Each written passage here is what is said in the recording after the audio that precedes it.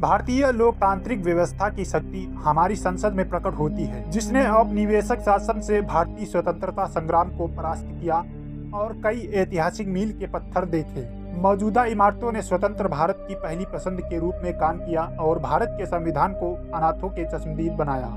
इस प्रकार संसद भवन की समृद्ध विरासत का संरक्षण और राष्ट्रीय महत्व का विषय है। भारत की लोकतांत्रिक भावना का प्रतीक संसद भवन सेंट्रल विस्टा के केंद्र में स्थित है। भारत का वर्तमान संसद भवन एक औपनिवेशक युग की इमारत है, जिसे British architect sir Edwin Lutyens और हर्बर्ट बेकर ने डिज़ाइन किया था, जिसका निर्माण 6 साल 1921 से 1927 में हुआ था। मूल रूप से हाउस काउंसिलिंग कहने वाले थे कि इस भवन में इंपीरियल लेजिस्लेटिव काउंसिलिंग स्थित थी। अधिक जगह की मांग को पूरा करने के लिए 1956 में संसद भवन में दो मंजिलों को जोड़ा गया। 2006 में भारत के 2500 वर्षों की समृद्ध लोकतांत्रिक विरासत को चित्रित करने के लिए संसद के संग्रहालय को जोड़ा गया था। आधुनिक संसद के उद्देश्यों के समान भवनों को काफ़ी हद तक स्वीकृत किया गया था।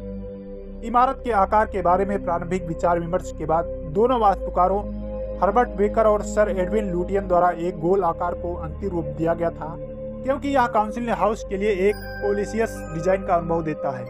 यह लोकप्रिय रूप से माना जाता है कि मुरैना, मध्य प्रदेश में चौसठ योगिनी मंदिर की सैर पर नज़र ने काउंसिलिंग हाउस के डिज़ाइन को प्रेरित किया था।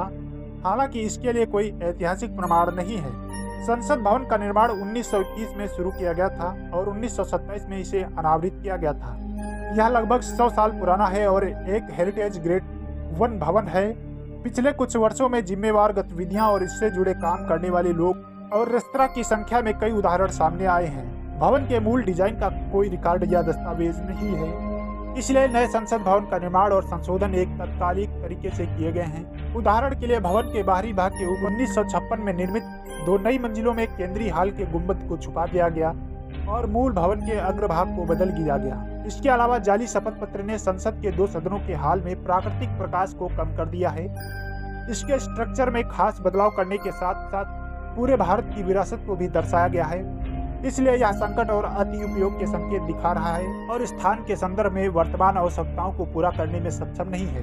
135 करोड़ भारतीयों की आकांक्षाओं को नए संसद भवन को मौजूदा संसद भवन के साथ साथ प्रतिबिंबित किया जा रहा है, लेकिन कई लोगों के मन में यह सवाल आता है कि क्या भारत का संविधान लिखने वाले और भारत के पहले कानून मंत्री डॉक्टर भीमराव अंबेडकर जी की प्रतिमा को इस नए संसद भवन में स्थापित किया गया है या नहीं?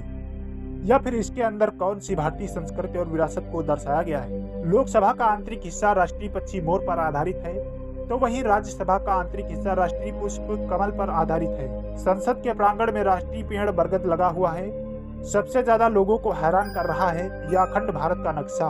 वही अगर बात करें डॉक्टर भीमराव अंबेडकर जी की प्रतिमा की तो उनकी तस्वीर पूरे संसद भवन में कहीं भी नज़र नहीं आ रही है।